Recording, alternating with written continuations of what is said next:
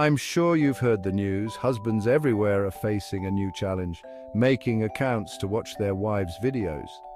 So there I was, minding my own business when my wife hit me with a curveball.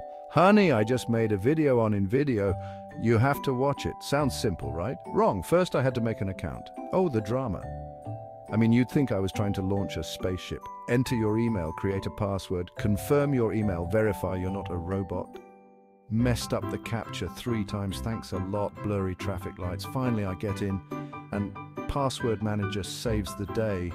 Next level, husband points achieved. Now, if only I could remember to watch the video. So, couples out there, brace yourselves. Account making isn't for the faint of heart, but hey, it shows you care.